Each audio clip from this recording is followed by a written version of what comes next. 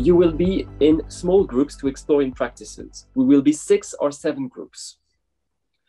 And in those small groups, obviously you will first start by introducing yourselves to your to the other group members, and then you will be given some links to go and explore some practices, links to examples of public engagement. And you will explore those links. There are a, you will be given several links for each group. For example, one group will explore um, games in public engagement, and you will have links towards several games. And sometimes the link will be a link to an article, and the article will have links inside to other examples of games. So you are free to explore as much as you want, as far, as far as you want. You can even Google some things if you'd like to find more examples or have some doubts or whatever, or if you want to explore further. So starting with the links I'm going to give to you, you are going to explore all those, uh, all, all this practice, and you will be given a fairly large amount of time. You will have 25 minutes, which is rather long. But please don't be fooled by, by this long, apparently long time, because during this time, you will have to explore, you will have a lot of matter. For example, in some, in many of the links, you will see uh, simply a website presenting um, an activity happening, but sometimes you will see an academic article detailing or evaluating an article, uh, a practice, and that is much longer. So don't think you have to read everything in detail. You may also just browse quickly, uh, have a look, have a glance here and there. The, the important, you, you can also organize your group as you wish. You can either all see together the same link and discuss about it, or everyone can go into a different link and then you come back and, and discuss them together. For this, you are free to organize yourself as you wish. But basically, you are, you are a small working group devoted to one practice, having some links and resources to explore them. And what you have to do is, first of all, discuss to understand what is this practice, what does it cover, what different variety of things does it cover. What do you think is the value to the public for this? What are the assets of this practice? Why does it work well? what are the is the value to the researcher why should a researcher do this what does may it bring to the researcher but also what are the main constraints the issues the challenges the difficulties of this practice and last of course are there some types of research what, which are suitable or unsuitable for this practice maybe it's a practice that's great for social sciences or that's great for uh, controversial issues but that's not great to talk about something that is maybe particle physics so you'll have to to, to discuss that among you. What are the strengths? What are the weaknesses of this practice? What are the best uh, context for this practice? And what are the, the, the challenges?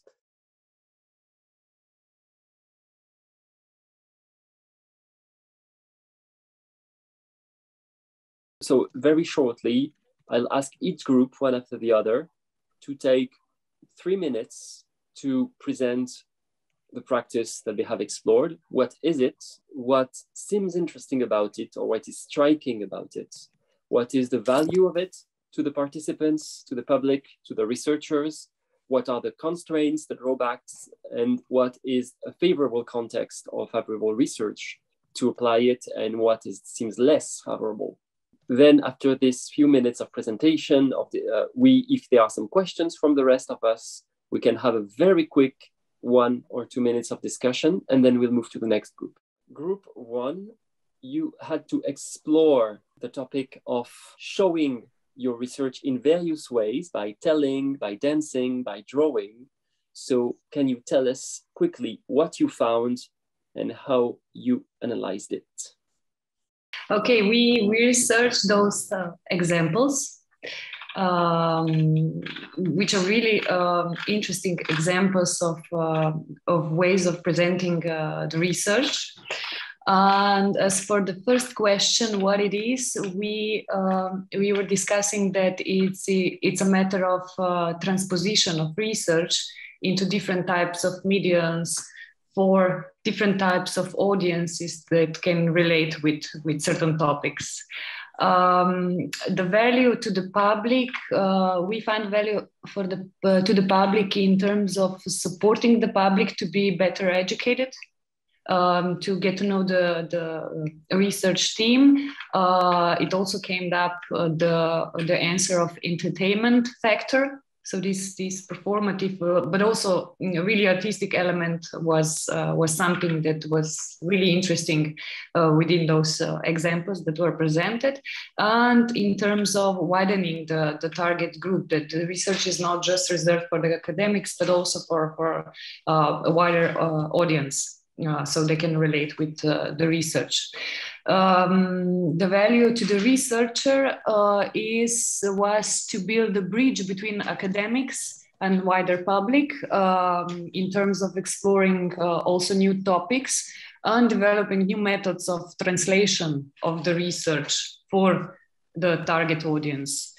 Um, the okay, the main constraints, issues, or challenges, we actually didn't find any um, any particular uh, constraints uh, uh, with regards to those uh, three examples, um, we thought also about other ways of presenting, for example, because all, all of them are very, very performative. So we can also think about uh, um, lecture performance, which is also a, a, kind of merging of uh, um, theory and practice, this performativity part, maybe also audio books um, but again, it depends of how to uh, what kind of audience you have. So if you have, uh, for example, people who have uh, I don't know uh, blindness, then what kind of uh, what kind of uh, medium would be appropriate to present the, the research team to them? Just first of all, thank you very much for for this very relevant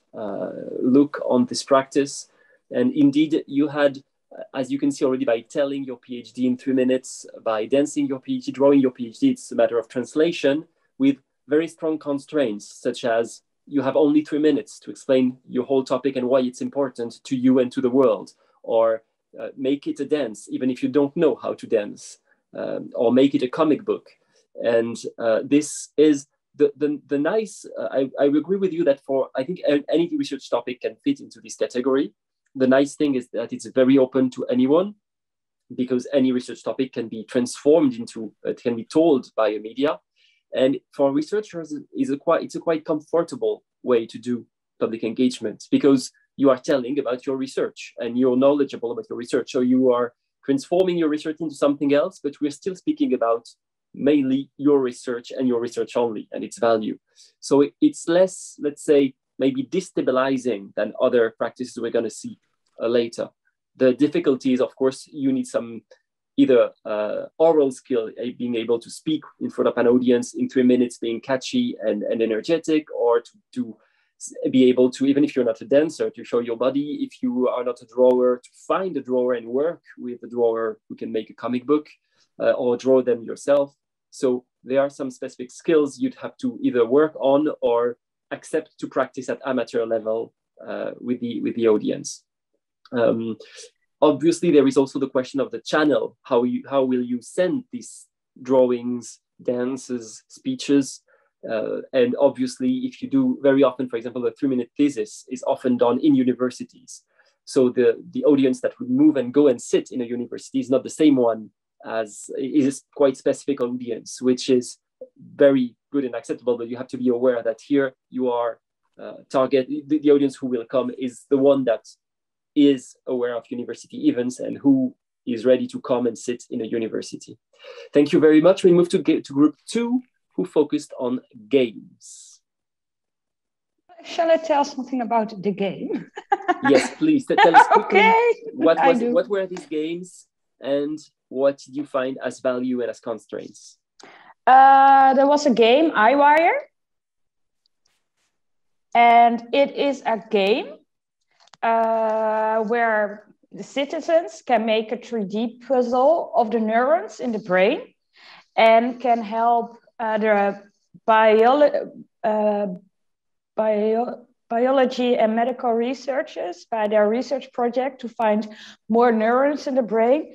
And the 3D puzzle um, works uh, from artificial intelligence. Uh, that was the game. I could understand on the website. okay, no way. Okay. Thanks. because you had to sign in, so okay, that was the information I could find. that's fine. It, it, was, it was just one example of game, but but yes, did you see other games? Um, or did you read about other games? you or anyone else from the group too? So now we split the task, uh, and I had uh, a website uh, in uh, which you could download or create and download a card game.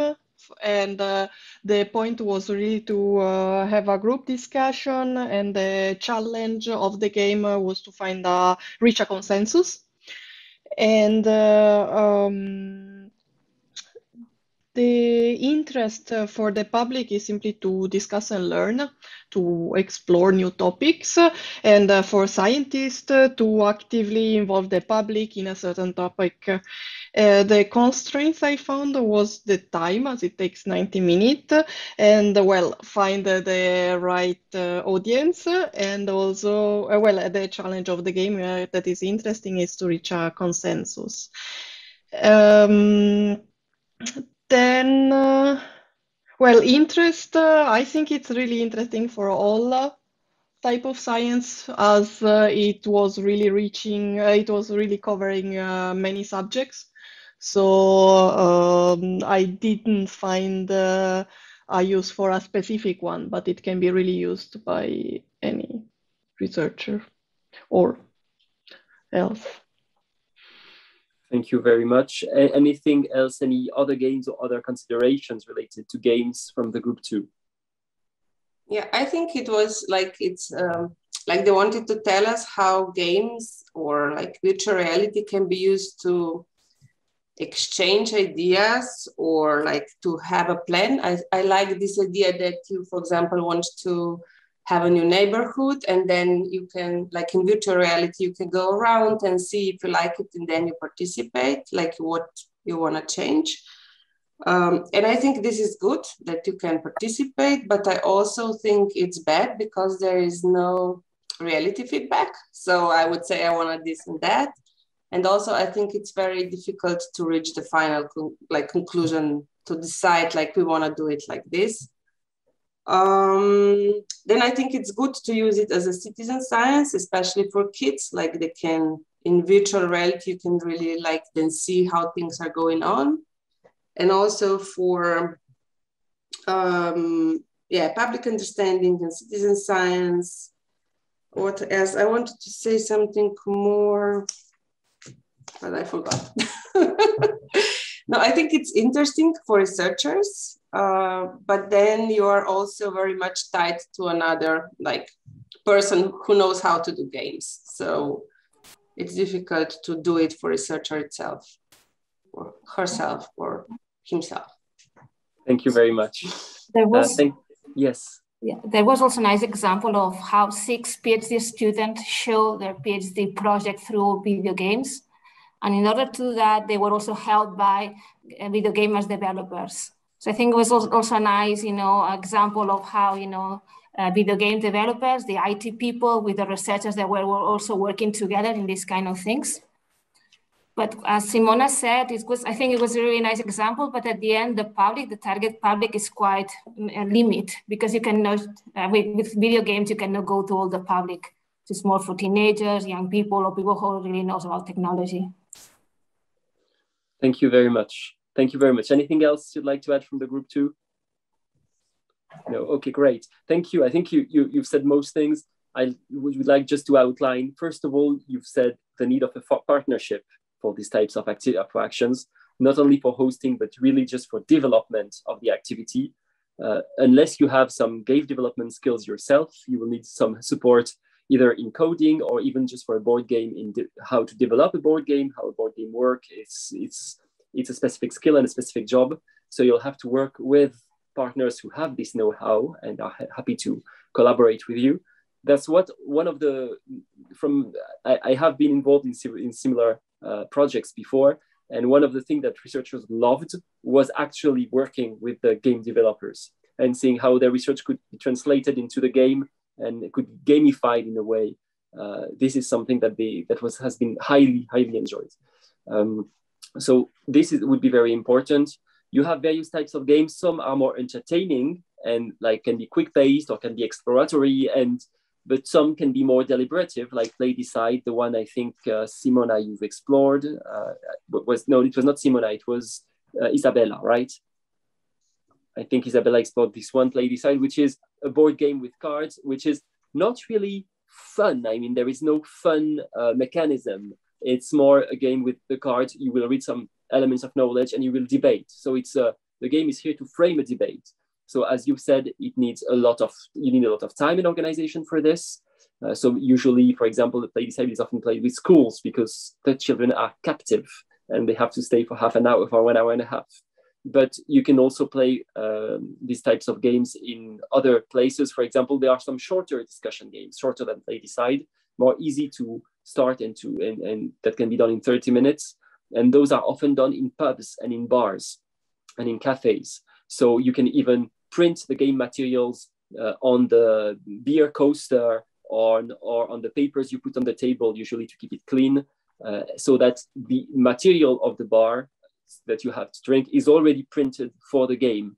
And, and then engage the people in the in the bar to to the ones who want, of course. You need uh, to, to to do the game. But for this, once again, you will need not only someone to design the game, but in that case, also a facilitator, because this game is a debate game is highly facilitated and you need someone who has the, some facilitating experience.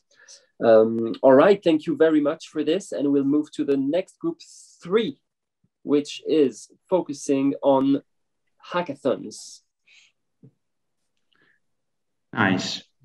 Marlene, you want yes. to, to, to, introduce and uh, yeah, we could uh, interact. No, go ahead. Go ahead. Ah, okay. So no, yeah. Uh, just a few words if you want. I'm introducing and if you want to to add it something. Hmm? So um, to the best of our knowledge, uh, hackathon is an, uh, an activity that uh, we could um, develop uh, in terms of researcher, I'm supposing, to interact directly with peoples clustered in uh, small groups um, starting from uh, broader challenges or specific uh, issues to discuss in order to acquire uh, values from the public in uh, um, collecting ideas, suggestions that are more practical, uh, supporting decision making in policy making or managerial uh, environment. Mm?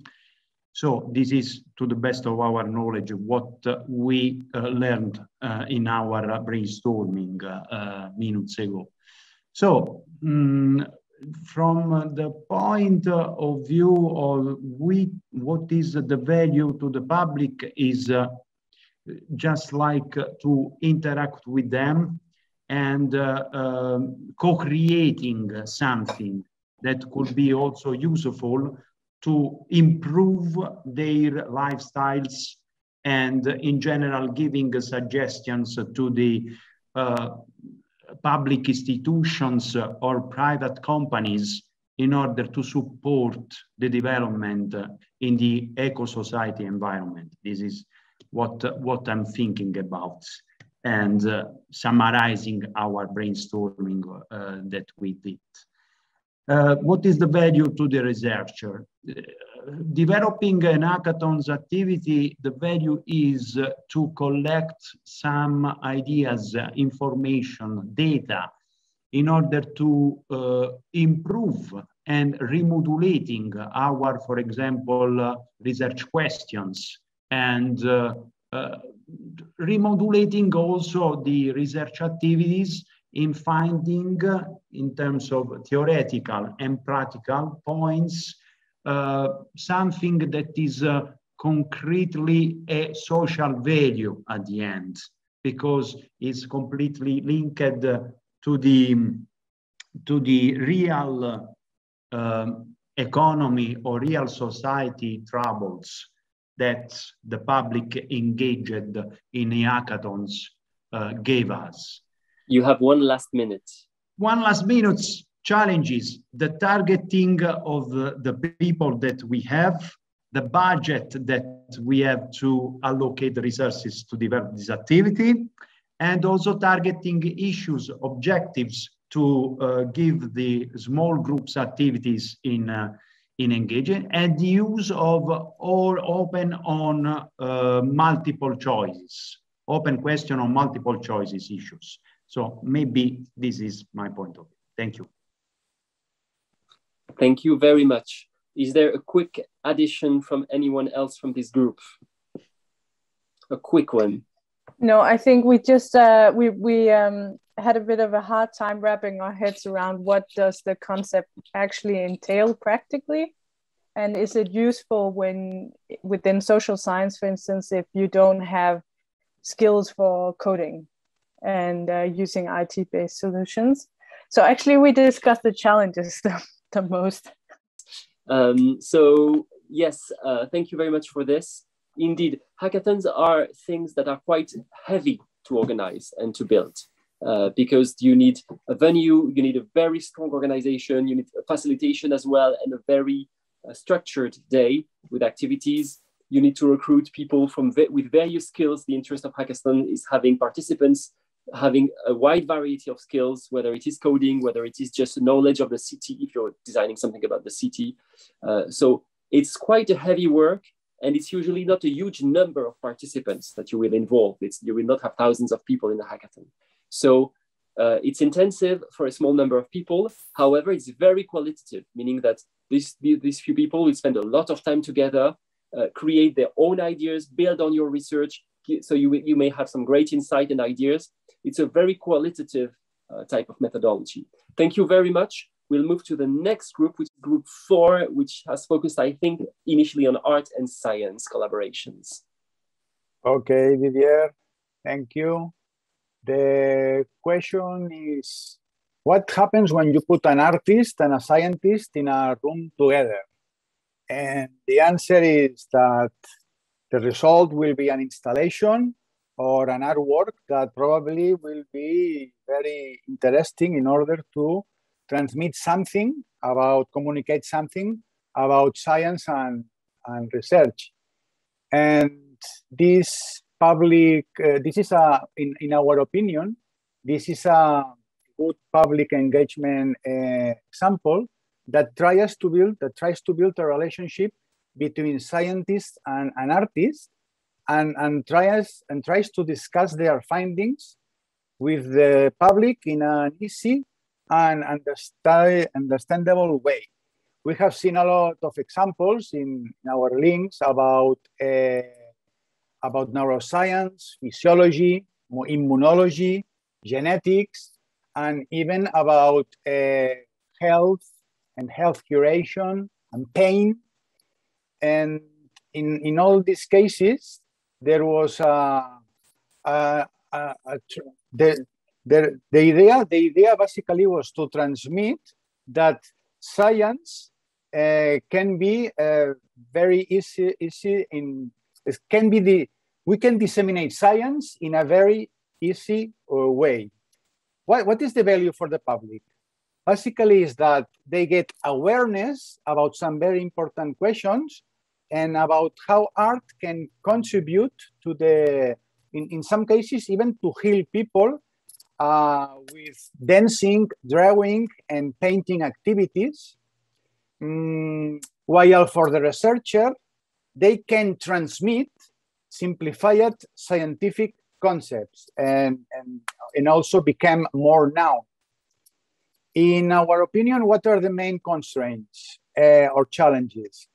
We we saw that there is no direct interaction uh, of the public in most of the cases, but because we, we, we saw a lot of films and examples of portraits, and in we think that there is the risk that there is no interaction, and in some cases there is not uh, there is no participation of the of the public about the question of uh, if, if, if, there are particular types of research suitable or unsuitable, the conclusion that we arrived is that any kind of scientific fields can be disseminated uh, with, with art, with art, uh, with artworks or other uh, kind of installations. Didier. Thank you very much. Anything else you'd like to add about group four? from group four.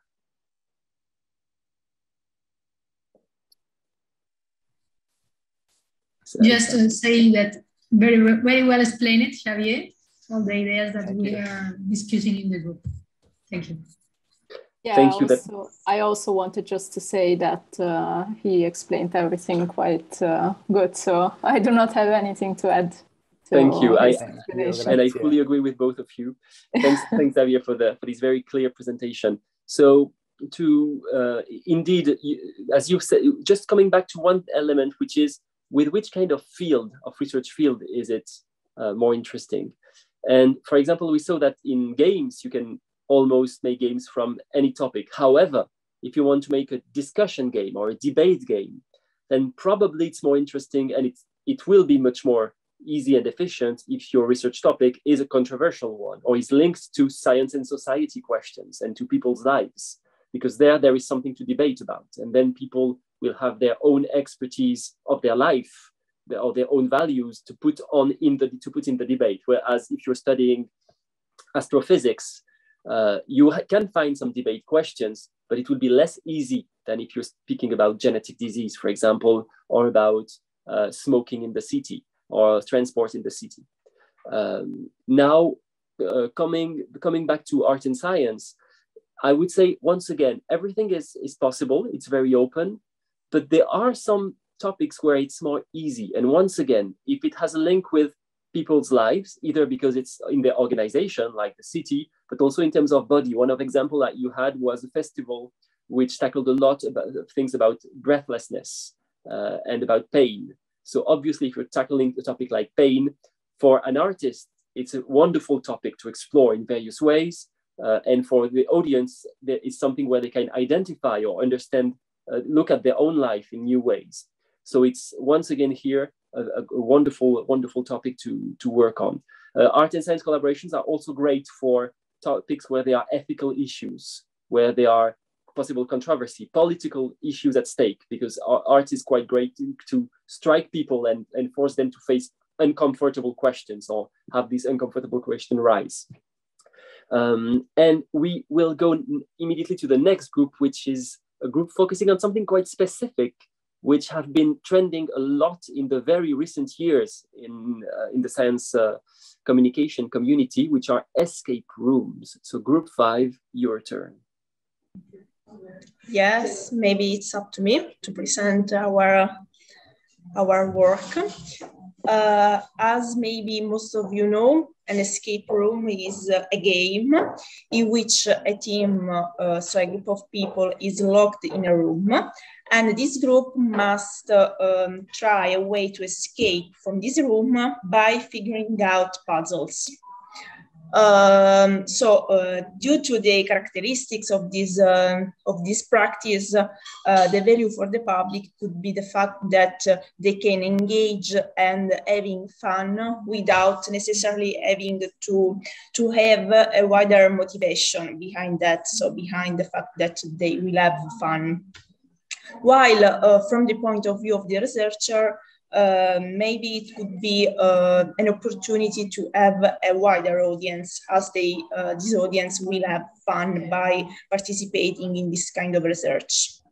Um, as for the, um, the research fields that we think uh, could be more suitable for this kind of practice, we thought that uh, maybe um, research fields like uh, technology, archaeology, or in general, uh, the natural sciences, so biology, or geology could be suitable for this kind of research, while it could, it could be uh, much more harder for blue sky research, so uh, more theoretical uh, uh fields uh, such as theoretical mathematics, uh, or, or, also maybe the, social, the social sciences research fields.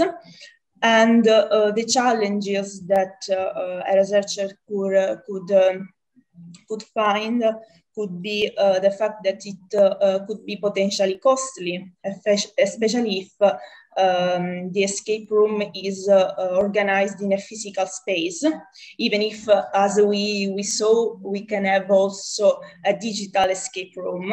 So we had also a very nice example online. Or also another problem could be the fact that uh, all the, the game should be uh, based on uh, understandable problems for common citizens. So it could it, it should be uh, studied very well before its implementation. And that's all. Thank you very much. Anything to add from group five? Maybe I lost all my group mates. all right, you were extremely clear. So okay. Thank you very much for this. Uh, and we'll move immediately to the last, to, no, and that was the last group actually, wonderful. So we are right on time, wonderful. Um, so thank you very much for this. Escape rooms have been trending a lot. They are great because first of all, because as with any game or any new activity that is trending, science communication immediately thinks, oh, teenagers are all and, and, students are all doing escape rooms. Maybe we can do one about science. And especially our escape rooms are about investigating, solving puzzles for engagement in science and research. It's great. So you even had an example related to law research, um, where even if you don't have the puzzle related to the research, the whole universe and the finding and the stories behind the escape room can be linked to your research. But I agree with you in terms of topics. Your analysis, I think, is very relevant. If you have some time now, I uh, in the following weeks, I invite all of you, first of all, to come back to the uh, this mural, but also to the Google link. I did write it in uh, in on the mural in a, in a yellow post-it uh, close to my big orange post-it. Uh, the link to the Google uh, Doc where you have all the links so you can explore the other kinds of practices and have a look at the variety of them. There are two groups that we, we haven't used. One is actually close to art and science. It's a part of, let's say, art and science collaboration, which is immersive theater. And one very good example, for example, is this Invincible play, which was a, a, a, theater play where you were inside the situation with a family arguing about something that is related to enhancing your brain, changing your DNA to to, to enhance your body or your brain and who you are. Uh, it was uh, done by the University of Bristol, and you even had some moments where the audience could vote or give their views on this with smileys uh, to see if they would agree, they were happy about this, this outcome or this decision or unhappy about it.